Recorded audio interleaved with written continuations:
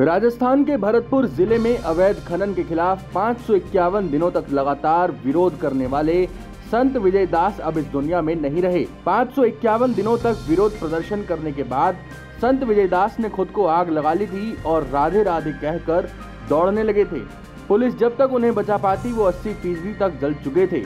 दिल्ली के सफदरजंग अस्पताल में उनका इलाज चल रहा था, जहाँ उनकी मौत हो गई। विजय दास की मौत के बाद राजस्थान की कांग्रेस सरकार घेरे में आ गई है। दरअसल भरतपुर ज़िले के डीग क्षेत्र में धार्मिक इलाके आदि बद्री धाम और कनकाचल में बड़े स्तर पर अवैध खनन चलता है। इसी के विरोध में साधु संतों सालों से आंदोलन कर रहे हैं। 20 जुलाई को बड़ी संख्या में साधु संत विरोध कर रहे थे। इसी दौरान आंदोलन स्थल पर पैंसठ साल के संत विजय दास ने आत्मदाह कर लिया। पुलिस और मौके पर मौजूद बाकी के लोग उन्हें फ़ौरन कंबल से लपेटकर बचाने की कोशिश करने लगे। लेकिन तब तक वह 80 फ़ीसदी जल चुके थे।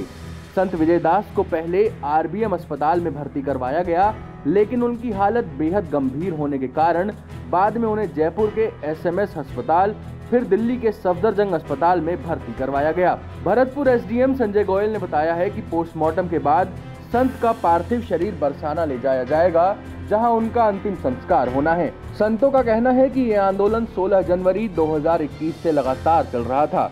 हालाँकि, साल 2004 से ही साधु संत अवैध खनन को लेकर इस इलाके में विरोध कर रहे हैं। इस दौरान प्रदेश के 100 से ज़्यादा विधायकों को ज्ञापन दिया गया और मंत्रियों से मुलाकात की गई।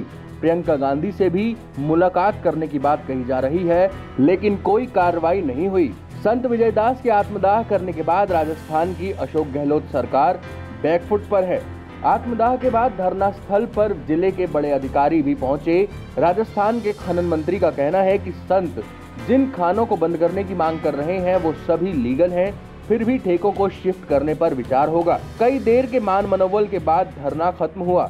सियासत भी तेज हो गई है। विपक्षी दल बीजेपी के नेता और पूर्व मुख्यमंत्री वसुंधरा राजे ने मोर्चा खोल दिया है। अशोक गहलोत के खिलाफ हमलावर होकर कहा कि संत की मौत जाया नहीं जाएगी और इसके लिए जिम्मेदार गहलोत की सरकार है। सीएम गहलोत ने भी आनंद फानंद में बैठक बुलाई।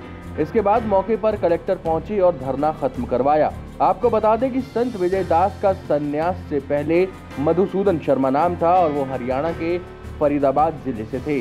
बेटे और बहू की मौत के बाद उन्होंने संन्यास लिया था। Times Now Nav Bharat, digital originals की रिपोर्ट। खबरों के पीछे की खबर पहुंचाते हैं हम। आपकी आवाज़ को मुद्दा बनाते हैं हम। टाइम्स नाउ नव भारत को यूट्यूब पर लाइव देखिए सब्सक्राइब करिए और बेल आइकन ज़रूर दबाइए।